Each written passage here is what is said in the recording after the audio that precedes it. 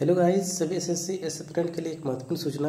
SSC CHSL 2021 की आगामी सभी परीक्षाओं को स्थगित करने का फैसला लिया गया है।